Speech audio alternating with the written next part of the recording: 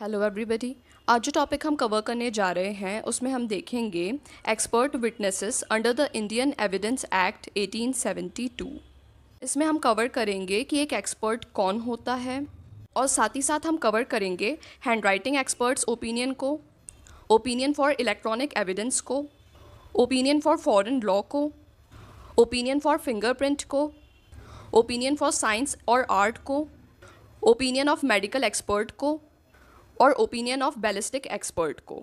Generally जब किसी व्यक्ति को समन किया जाता है कोर्ट के समक्ष टेस्टिमनी देने के लिए एज अ विटनेस तो यहाँ पर उससे अपेक्षा की जाती है कि वो सिर्फ़ फैक्ट्स को बताए और अपना ओपिनियन ना दे। ये कोर्ट का जॉब होता है कि वो किसी भी केस में अपने ओपिनियन को फॉर्म करे। और जब किसी व्यक्ति को टेस्टमनी देने के लिए बुलाया जाता है तो उस व्यक्ति से यही एक्सपेक्ट किया जाता है कि वो फैक्ट्स को बताए। लेकिन इस रूल का एक एक्सेप्शन है। जो एक्सपर्ट्स होते हैं, उन्हें विटनेसेस कंसिडर किया जाता है। भले ही उनका केस से कोई भी ताल्लुक़ नहीं होता। कोर्ट यहाँ पर इन एक्सपर्ट्स से ये एक्सपेक्ट करता है कि वे अपने ओपिनियन दें, जिससे कोर्ट की मदद हो सके और कोर्ट को एक वाइडर पर्सपेक्टिव प्रोवाइड किया जा सके। एक्सपर्ट्स के ओपिनियन जस्टिस प्रदान करने में सहायता करते हैं। इसके पीछे जो रीज़न है, वो ये है कि ये प्रैक्टिकली पॉसिबल नहीं हो सकता है कि जजेस के पास में एडुकेट नॉलेज हो मेडिकल इश्यूज़ का। एक्सपर्ट्स ओपिनियन को डिस्कस किया गया है इंडियन एविडेंस एक्ट 1872 में। अब यहाँ सवाल ये आता है कि एक्सपर्ट कौन होता है? कोर्ट के द्वारा एक करेक्ट जजमेंट नहीं पास किया जा सकता है। बिना ऐसे व्यक्ति की मदद के जिसके पास में कोई स्पेशल स्किल हो या फिर एक्सपीरियंस हो। किसी पर्टिकुलर सब्जेक्ट का। जब कोर्ट को आवश्यकता होती है ओपिनियन की किसी सब्जेक्ट में, जहाँ पर स्पेशल असिस्टेंस रिक्वायर्ड होता है, तब कोर्ट के द्वारा एक्सपर्ट को कॉल किया जाता है, जो कि एक स्पेशली स्किल्ड पर्सन होता है। जो ओपिनियन दिया जाता है, एक थर्ड पर्सन के द्वारा उसे कंसिडर किया जाता है एज रिलेवेंट फैक्ट अगर जो थर्ड पर्सन है, वो टेस्टिफाई कर रहा है एज एन एक्सपर्ट उदाहरण के लिए हम कह सकते हैं कोर्ट के सामने एक बड़ी कन्फ्यूज़न थी कि एक पर्टिकुलर लेटर एक्स व्यक्ति के द्वारा लिखा गया है या नहीं। तब यहाँ पर कोर्ट के द्वारा हैंडराइटिंग एक्सपर्ट को बुलाया जाता है, जिससे ये पता किया जा सके कि जो लेटर है, वो एक्स व्यक्ति के द्वारा लिखा गया है या नहीं लिखा गया है। तो यहाँ पर जो व्यक्ति हैंडराइटिंग एक्सपर्ट है, वो केस में एक्सपर्ट कहलाएगा। और यहाँ पर जो एक्सपर्ट का ओपिनियन है, वो इस केस में रिलेवेंट होगा। एक्सपर्ट को डिफ़ाइन किया गया है under the section 45 of Indian evidence act 1872 court को एक एक्सपर्ट की आवश्यकता होती है। जब बात आती है फॉरेन लॉ की साइंस एंड आर्ट की हैंडराइटिंग को आइडेंटिफाई करने की फिंगर इम्प्रेशन को आइडेंटिफाई करने की, या फिर जब बात आती है इलेक्ट्रॉनिक एविडेंस की, जब इन फील्ड्स में व्यक्ति के पास में एक्सपर्टीज़ होती है, तब उस व्यक्ति के ओपिनियन को एक्सपर्ट ओपिनियन कंसिडर किया जाता है। अगर ऐसी कोई फ़ील्ड जो कि अभी मेंशन नहीं की गई है, उसमें एक ओपिनियन की आवश्यकता होती है, तब फिर उसे एक्सपर्ट ओपिनियन नहीं कहा जा सकता है। एग्ज़ाम्पल के लिए केसेस जैसे डिस्पोजिशन या फिर temper of animals colour weight या फिर स्केल या फिर ऐसे ही कुछ फैक्ट्स किसी व्यक्ति की एज को पता लगाना। इस बात को चेक करना कि जो मैन या फिर वुमेन है, वो इंटीमेट थे या नहीं। इस बात को चेक करना कि जो व्यक्ति था वो इंटॉक्सिकेटेड था या नहीं। तो जब इन सारी बातों पर ओपिनियन दिया जाता है तो उसे एक्सपर्ट ओपिनियन कंसिडर नहीं किया जा सकता है। जब किसी एक्सपर्ट के द्वारा ओपिनियन दिया जाता है तो केस के लिए उसे एक रिलेवेंट फैक्ट कंसिडर किया जाता है। एक एक्सपर्ट व्यक्ति के द्वारा अपने टाइम को डिवोट किया जाता है किसी स्पेशल ब्रांच ऑफ़ एक्सपर्टीज़ को सीखने के लिए। स्पेशल स्किल में इंक्लूड किया जा सकता है पीरियड नॉलेज को और प्रैक्टिकल एक्सपीरियंस को। जब कोर्ट ऑफ़ लॉ के द्वारा किसी भी ओपिनियन को एडमिट किया जाता है, जो कि किसी एक्सपर्ट के द्वारा दिया जाता है, तब यहाँ पर कोर्ट के द्वारा इस बात को इंश्योर किया जाता है कि जो पर्सन है, वो एक एक्सपर्ट है अंडर द लॉ अगर ये बात पाई जाती है कि जो व्यक्ति है, वो एक एक्सपर्ट नहीं है तब यहाँ पर कोर्ट के द्वारा उसके ओपिनियन को डिस्कार्ड कर दिया जाता है। इस बात को चेक करने के लिए कि जो विटनेस है, वो एक एक्सपर्ट है या नहीं, उसे एग्जामिन और क्रॉस एग्जामिन किया जाता है। कोई भी व्यक्ति एक एक्सपर्ट प्रैक्टिस ऑब्जर्वेशन या फिर एक्सपीरियंस की वजह से बनता है।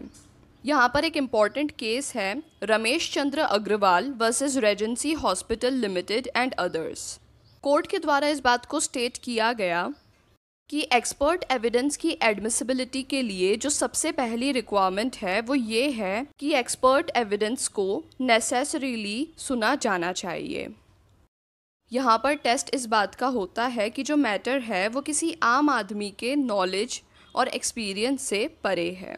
Hand writing experts opinion section 47 जब कोर्ट के पास में ये ओपिनियन होता है कि किस व्यक्ति के द्वारा किसी चीज़ को लिखा गया है या फिर किसी डॉक्यूमेंट को साइन किया गया है, तब कोर्ट एक हैंडराइटिंग एक्सपर्ट का सहारा लेती है। यहाँ पर हैंडराइटिंग एक्सपर्ट के द्वारा ओपिनियन दिया जाता है कि पर्टिकुलर हैंडराइटिंग किसी व्यक्ति की है या नहीं।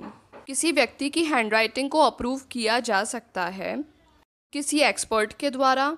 या फिर किसी ऐसे व्यक्ति के द्वारा जिसने उस व्यक्ति की हैंडराइटिंग पहले देखी हो, या फिर किसी ऐसे व्यक्ति के द्वारा जिसको कोई डॉक्यूमेंट मिला था, जिसमें उस पर्टिकुलर व्यक्ति के द्वारा कुछ लिखा गया था, या फिर किसी ऐसे व्यक्ति के द्वारा जो कि रेगुलरली रिसीव करता है लेटर्स या फिर पेपर्स ऐसे पर्टिकुलर व्यक्ति से।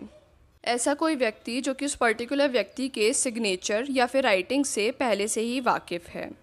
या फिर किसी सर्टिफाइंग अथॉरिटी के द्वारा, जिसके द्वारा इशू किया गया है डिजिटल सिग्नेचर सर्टिफिकेट जब बात आती है डिजिटल सिग्नेचर की, इस बात को एविडेंस एक्ट के सेक्शन 47 ए में मेंशन किया गया है। या फिर जिस व्यक्ति ने उसे लिखा है, उसी व्यक्ति के द्वारा इस बात को प्रमाणित किया जा सकता है कि ये राइटिंग उसकी है या नहीं। इस बात को मेंशन किया गया है सेक्शन 60 में। अगर कोई अन्य व्यक्ति इस बात को एडमिट कर लेता है कि यहाँ पर उसके द्वारा इस चीज़ को लिखा गया था किसी पर्टिकुलर व्यक्ति की राइटिंग में, या फिर किसी ऐसे व्यक्ति के द्वारा जिसने पहले भी व्यक्ति की राइटिंग को या फिर सिग्नेचर को देखा है, या फिर यहाँ पर कोर्ट खुद भी कंपेयर कर सकती है डॉक्यूमेंट्स को जो कि क्वेश्चन में है किसी अन्य डॉक्यूमेंट के साथ में। इस बात को मेंशन किया गया है सेक्शन 73 में। या फिर जो कोर्ट है, वो व्यक्ति को पूछ सकती है कि वो कुछ लिख कर दिखाए, जिससे डॉक्यूमेंट में जो बात लिखी हुई है, उसे कंपेयर किया जा सके उसकी करंट राइटिंग से। Opinion for electronic evidence section 45 A जब किसी इंफॉर्मेशन को ट्रांसमिट किया जाता है या फिर स्टोर किया जाता है कंप्यूटर सिस्टम में, और ऐसी परिस्थिति में कोर्ट को ओपिनियन की आवश्यकता होती है तब यहाँ पर कोर्ट इस बात को रिफ़र करती है एक इलेक्ट्रॉनिक एविडेंस के एग्जामिनर को। ऐसे केस में एक इलेक्ट्रॉनिक एविडेंस के एग्जामिनर को एक्सपर्ट कहा जाता है। इस सेक्शन के लिए इलेक्ट्रॉनिक एविडेंस इंक्लूड करता है। कोई भी इंफॉर्मेशन जिसे ट्रांसमिट या फिर स्टोर किया जाता है किसी कंप्यूटर रिसोर्स में या फिर किसी अन्य इलेक्ट्रॉनिक या फिर डिजिटल फॉर्म में। Opinion for foreign law section 38 read with section 45 जब यहाँ पर कोई लॉ प्रिवेल करता है किसी अन्य कंट्री में, जिसे कंसिडर किया जाना ज़रूरी है जजमेंट देते समय, तब यहाँ पर कोर्ट को आवश्यकता होती है ऐसे एक एक्सपर्ट की, जिसके पास में संपूर्ण नॉलेज है उस लॉ का। इसके अलावा जो कोर्ट है, वो अपना ओपिनियन ले सकती है लॉ बुक से। पर यहाँ पर ये बात ज़रूरी है कि ये जो बुक्स हैं, वो प्रिंट या फिर पब्लिश की जाएँगी उस कंट्री के गवर्नमेंट की अथॉरिटी के अंतर्गत। ओपिनियन फॉर फिंगरप्रिंट जनरली किसी फिंगर इम्प्रेशन के लिए एक्सपर्ट के ओपिनियन की आवश्यकता होती है। हर किसी व्यक्ति का जो फिंगरप्रिंट है, वो सेम होता है, जन्म से लेकर मृत्यु तक। और साथ ही साथ ऐसे कोई भी दो इंडिविजुअल्स नहीं होते जिनके पास में सेम फिंगर इम्प्रेशंस हों। फुटप्रिंट्स को भी स्टडी किया जाता है और वो भी इम्पोर्टेंस गेन कर रही हैं। पर कोर्ट के द्वारा फुटप्रिंट्स को एक्सेप्ट नहीं किया जाता है एज एन एविडेंस ऐसा एक व्यक्ति जो कि एक फिंगरप्रिंट एक्सपर्ट होता है, उसे बुलाया जाता है दो फिंगरप्रिंट्स को मैच करने के लिए। और ऐसे एक एक्सपर्ट के ओपिनियन को केस में रिलेवेंट माना जाता है। ओपिनियन फॉर साइंस और आर्ट जो शब्द हैं साइंस और आर्ट, उन्हें ब्रॉडली कंस्ट्रक्ट किया जाता है।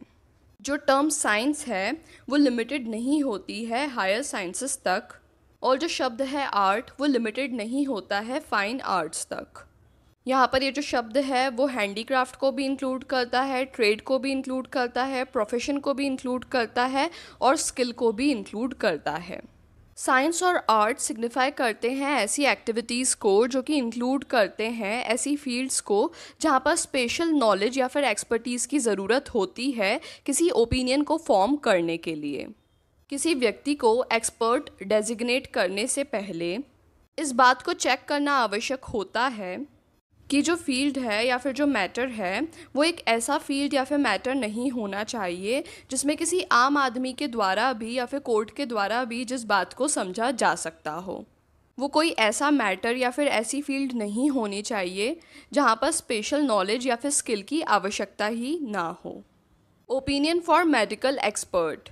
Medical expert के ओपिनियन को तब इस्तेमाल किया जा सकता है, जब बात आती है किसी व्यक्ति के फ़िज़िकल कंडीशन की किसी व्यक्ति के एज की, किसी व्यक्ति के मृत्यु के कारण की, नेचर और अफेक्ट की किसी डिज़ीज़ या फिर इंजरी की जो बॉडी पर हुई है या फिर जो माइंड पर हुई है। किसी इंजरी को देने के लिए किस तरीके को या फिर किस इंस्ट्रूमेंट को इस्तेमाल किया गया था? उस समय जब ये जो इंजरी है या फिर जो वुंड है वो दिया गया था। क्या जो इंजरी है या फिर जो वुंड है वो फैटल है नेचर में? किसी डिज़ीज़ के कॉजेस या फिर सिम्टम्स को पता करने के लिए और साथ ही साथ इस बात को पता करने के लिए कि क्या ये डिज़ीज़ डेथ को कॉज कर सकती है। किसी इंजरी के फ्यूचर कॉन्सिक्वेंसेस को पता करने के लिए। Opinion of ballistic expert ballistic experts जिन्हें फायर आर्म्स एक्सपर्ट भी कहा जाता है, ये एक्सपर्ट होते हैं प्रोजेक्टाइल्स और फायर आर्म्स की स्टडी में। इनकी मदद ली जाती है जब जो केस होता है, उसमें गन्स इन्वॉल्व्ड होती हैं। एक बैलिस्टिक एक्सपर्ट के द्वारा बुलेट को ट्रेस किया जा सकता है, या फिर कार्ट्रिज को टेस्ट किया जा सकता है। ये बुलेट या फिर कार्ट्रिज किस वेपन से डिस्चार्ज किया गया है? फॉरेंसिक बैलिस्टिक्स के द्वारा भी ओपिनियन फर्निश किया जा सकता है। उनके द्वारा बताया जाता है कि कितने डिस्टेंस पे से जो बुलेट है, उसे फायर किया गया था। और साथ ही साथ इस बात को भी बताया जाता है कि जो वेपन है, उसे आखिरी बार कब इस्तेमाल किया गया था।